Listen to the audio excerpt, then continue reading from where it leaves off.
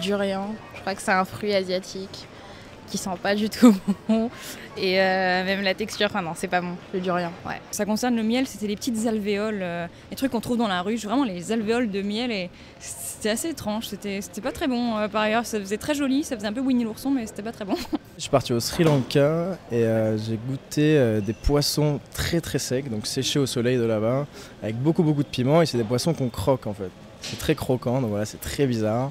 Mais c'est plutôt pas mal, voilà. J'ai goûté du lama quand j'étais en voyage au Chili. C'était euh, très bon, un peu caoutchouteux, mais euh, vraiment très bon.